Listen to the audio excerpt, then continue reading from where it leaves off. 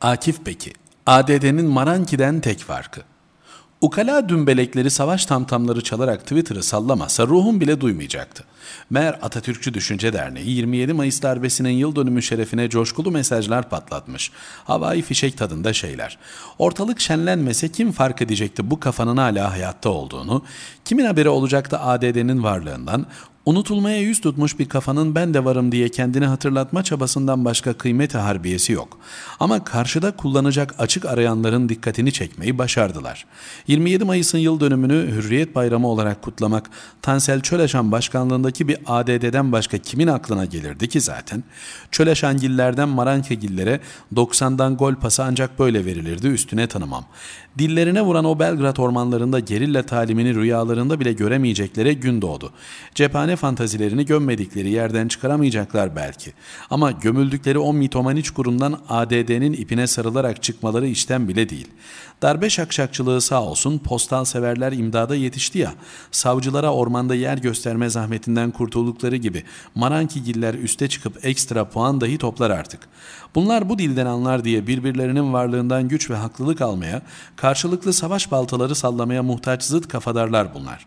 Kambersiz düğün olmaz ama az daha bu klişeci zihniyetler arasında kavga kopmadan seçim dönemi bitecekti.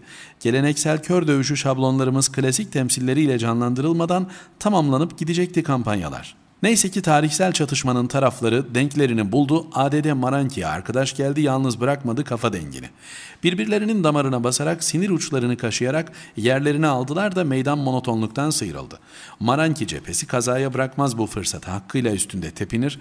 ADD'nin de istediği bu. Onlar da üstünde çığlıklar atarak tepinmek için Maranki kafasının kabak çiçeği gibi açmasını bekliyordu. Fakat her iki çığırtkan da karşı tarafı provoka ederken kendi tarafını sabote ediyor. CHP parayla adam tutsa Maranki kadar kendine çalıştıramazdı. AK Parti'de ADD'den iyisini bulamazdı kampanyasına malzeme taşıtmak için. Nerede bu devirde şeytan taşlama egzersizlerinde hedefe oturtulacak böyle darbe savunucusu, böyle askeri vesayet muhibbi kafa. Menderes'le iki bakanını asmış bir darbeciyi, İrticayı durdurduğu gerekçesiyle överken karşıya verdiği propaganda kozu paha biçilemez. ADD kendisiyle ne kadar gurur duysa az. Biri vaktiyle Almanya'da tahta at ve silahlarla oynatılan cihatçı bir gerici kalkışma müsameresini hatırlatıyor. Diğeri ise güya karşı devrimci, faşist bir diktatörlüğe ordunun direnme hakkını kullandığından bahsediyor. Darbeye devrim diye selam çakıyor, TSK'yı seçilmiş iktidara icabında el koymaya teşvik ediyor, askeri özendirerek kendince göreve çağırıyor. Nesli tükenmiş gelmiş öcüleri varmış gibi gösterip dövüştürmek bu kafalara olmasa ne mümkün? Biri hesapta halifeci, cihatçı, diğeri sözüm ona ilerici Atatürkçü. Biri paramilitaristken diğeri militarist. Yok oysa başka farkları. Öcüler çarpışıyor cümbüşü kuruldu, daha seyreyleyin mavrayı. Akif Beki, Karar